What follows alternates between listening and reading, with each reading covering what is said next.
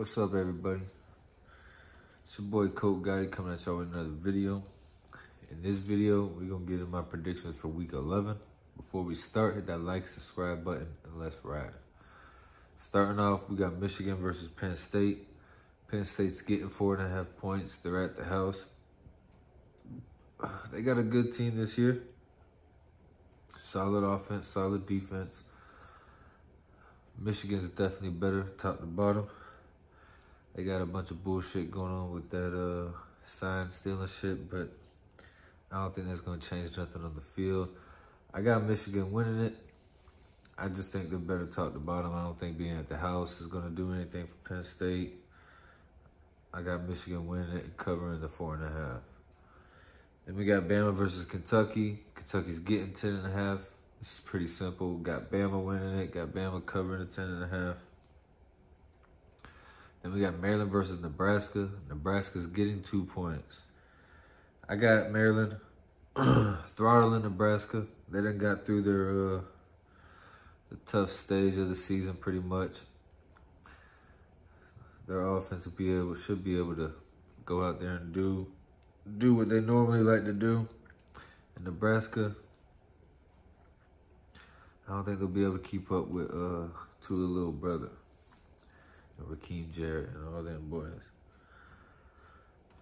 Then we got Miami versus Florida State. Florida State's giving up 15. Miami's just been a dumpster fire lately. They just lost uh, North Carolina State last week. Only put up six points. Florida State's on a roll. I got Florida State winning. I think I take Miami with the points, though, just because it's a rivalry game.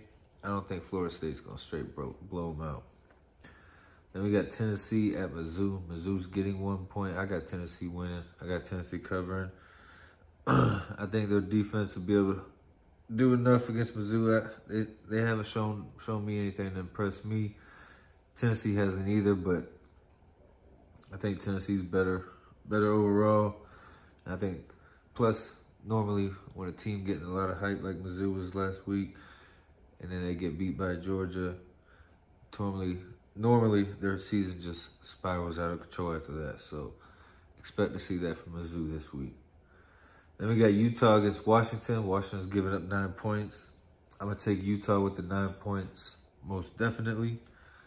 And I'm going to take Utah head up. If someone's going to upset and knock off Washington this season before uh, the Pac-12 championship, it's going to be Utah. So I'm going to take them this week, see see if they pull it off.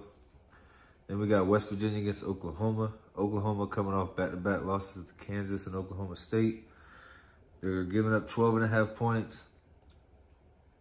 I'm going to take Oklahoma at the house to win this, bounce back, get revenge from the loss last year. I got Oklahoma. Then we got Ole Miss against Georgia. Georgia's giving up 11 and a half. I'm taking Georgia head up. I take Ole Miss with the points. Fuck it, Georgia ain't covered all year. Then we got Duke and North Carolina. I got North Carolina. They're giving up 12 points. I got them to cover the 12 points. Drake Maye and them should be able to go out there and, you know, run, run that offense with ease against Duke. I don't think Duke Duke's done. The hype for them this year is over with. It's basketball season now. And then we got USC versus Oregon. USC's giving up 15 points. I mean, no, Oregon's giving up 15 points. My bad. I'm taking Oregon. USC done got three losses in their last four games. I don't see how they they'll be able to beat Oregon just from what they're showing on the field. They ain't got no defense. I got Oregon winning, covering. I don't know, but I take USC with the points just just because I don't think it'd be a straight up blowout. But definitely got Oregon winning that game head up. It's your boy Colt Gotti. Make sure you hit the like and subscribe button. I'm out.